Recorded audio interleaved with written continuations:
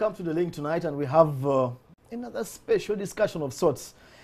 Today we are discussing inheritance and companies and whether wills can help to uh, clear controversy. And tonight my guest is uh, Bridget Nambooze, a lawyer with Katende Sempebwa and Company Advocates. Bridget, welcome. Thank you. And good evening, viewers. A controversy that happens sometimes. If my father or uncle owned a company with other people, if he dies, can the children automatically take over his part? That's a very interesting question. And before I answer your question, uh, of course, as introduced, I'm Bridget Nambooze. Yeah. I work with Katende Sempebwa and Company Advocates, and we're celebrating 50 years of providing legal services in Uganda.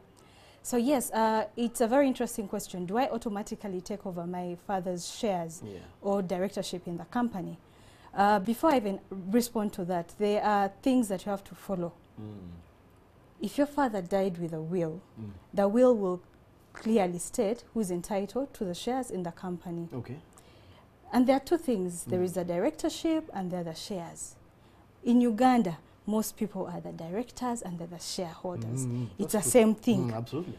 But under our laws, Mm. it means automatically different things. Bridget Nambooze is an employee of Katende Sempebwa. Yes. It's my job. So when I die, my child or my children Mm. or my husband Mm. are not entitled to inherit my job. Yes. Directors in a company are employees. Mm. That is a position that is not inherited. You are appointed to it because of your capabilities. Mm. So even if your father was uh, a director in a company, that position, the directorship, cannot be passed on under will. So it's not automatic that you will be a director in your father's company Okay. or in your husband's, your late husband's company, Mm. etc. However, a share Yes. is property. So if your father was a shareholder in a company, Mm. then that's an asset. He can leave this to whoever he chooses under a will. Okay. So that asset can be left our children, the wife, the sister, the brother. Traces are limited, uh, are limitless. Mm. When that happens, if we have a will, it's not automatic that you just knock at the door of the company and tell them my dad has died. Please give me my dad's And shares. here, what, what happens? You have to go through a process. Okay. So now, uh, when your father passes on, you get the will, you go to the High Court Family Division Mm. and apply for something called a letter of probate. Okay. We are used to the term letters of administration Okay. because most people die without wills. Mm. It's the same thing. Mm. Just because uh, under the letters of uh, probate, you do not have to go through the administrator general. Because there's a will. Yes, the person Mm. has made it clear that this is the Mm. person. Mm. So it's, it's, it's, it's, it's, nothing for the administrator general to Mm. arbitrate over. Okay. If the person does not leave a will, then you have Mm. to go to the administrator general. Okay. And the role of the administrator general is to see that, okay, who is entitled to this estate Mm. and who is going to be the administrator of this estate. Okay. By law, the administrator general is automatically appointed over the estate of the person who has not left Well, a will. Yes. So then you get a no, letter of no objection for him to allow you to administer that estate. That's when you go to the High Court. Okay. So it would be recommendable for you to make a will to make the lives of the beneficiaries easier. So it's not automatic. You go through that process. When you get your letters of probate or letters of administration, Yes. you take those to the company. Then the company will use a process called transmission Mm. from the owners or from the shares of The your father yeah. or the late person mm. to you. Now that you'll only be entitled to the portion your father was entitled to. So if you had other partners, let's say the shares were 100, Mm. your father owned 15 or 50, Yeah. that is the portion you'll be entitled to, not the entire company. Now, uh, Bridget, uh, the company has been making money. They are rich. You know, for us, we are broke. Musei has died, and then I have to go. I want to go to the company to claim some money. Do I have any rights? Ah, it's a very interesting question. Mm. Now, Muzei, as a shareholder in that company, Mm. is entitled to something called dividends, which is the profit the company has made Yes. after paying all liabilities taxes in the company and, and taxes. Mm. And it's also not automatic. So when they make this profit, they can decide, can you reinvest back in this company? Mm. Let's say you are a trading company. You, you buy clothes Mm. and resell. Yeah. So you can decide that the profits that we've made, we're going to recoup back into this business so that it grows. Mm. So just because we've made profit does not mean you'll be entitled to that money. That money may be used to So even if the company is making money as a usual business money, I, I, I. I have no access to that money. you cannot touch it. Mm. Yes, you cannot touch it, and that is why sometimes it becomes a little complex. Yes. But that's how the law has structured uh, companies, that ownership and management are different. As an owner, you wait for profit. They tell you, we've made profits, and this is your portion of the profit. Or if they decide to, re, uh, to reinvest the, the money, Yeah. then it's the management's decision. Okay, Bridget, Yes. let's move on to a company whereby there were no shareholders. Mosei or Uncle was the only owner. Okay. How does that change? Does the will help also there? Now, this is, I need to clarify. Companies, there's always a shareholder and a director. Mm. Now, what you're describing is something called a sole proprietorship. Yes. Now, a sole proprietorship, unlike the company, does not have legal existence, Mm. Which is different from the owner. Yes. I, if you have a sole proprietorship, you die with your business. Mm. A good example would be if I have my shop in Chikubo. Mm. Hmm? Mm.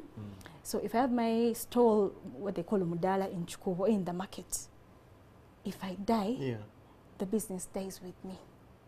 The only things that are left Mm. are the um, assets. Let's say the tomatoes are selling, or the books, whatever are selling, Mm, -hmm. those the assets. stock. Yes, the stock, Mm. right.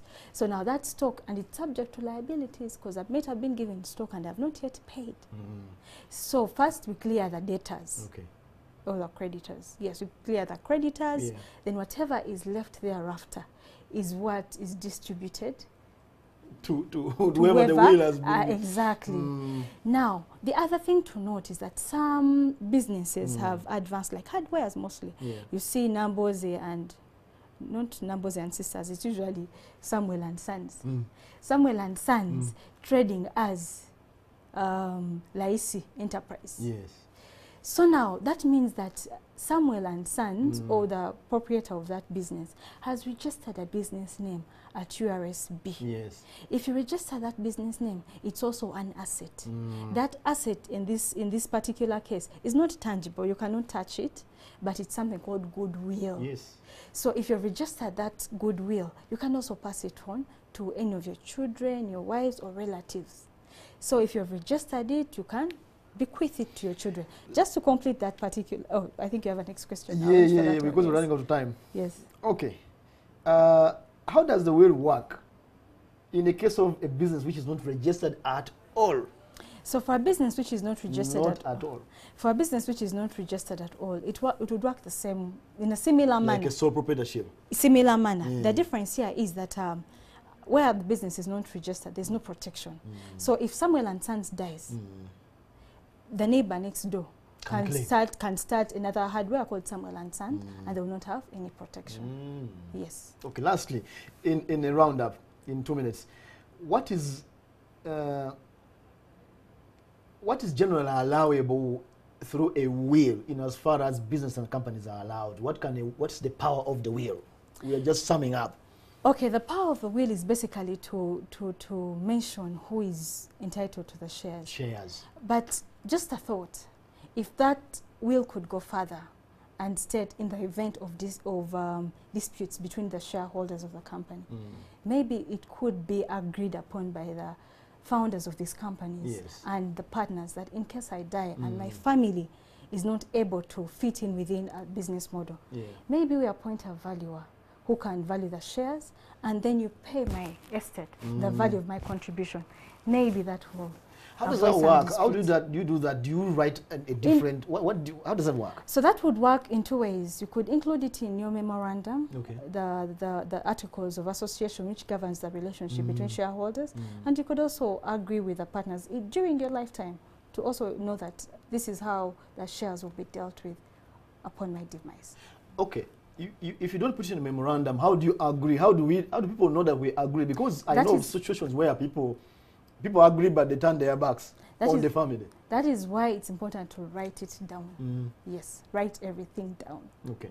Yes. Lastly, in one minute and a half, why is it crucial to make wills? Um, just wills are scary. People think I'm gonna die, but why are wills critical to make? One, it's of course the ease of administering your estate Mm. uh, and you avoid the, the, the, the disputes. Also, it's more efficient to get uh, letters of probate for the administrators to know what yes, to do. You, you, you lose the, you make the headache, you reduce the headache. You the family. reduce the headache and also it, it kind of lessens the expense Mm. of getting uh, these letters of probate or administration to allow your family mm. move on up when you, when you pass on. And it's inevitable that all, everyone has to pass on. And lastly, to, to, to, for, for the favor for you, my, my guest, it's nice to visit a lawyer. of course, of course, it's always nice to have a good lawyer Yes. to help you draft the will the right way. Okay, Bridget, thank you so much for giving us light in that issue. Our viewers, uh, you have a company, you have a business, your father passes away and you go and they push you away. They have the law on their side as far as things are concerned. You can become a shareholder, but you can't become the MD or whatever your father was or your uncle. That was the link tonight. Thank you for joining us.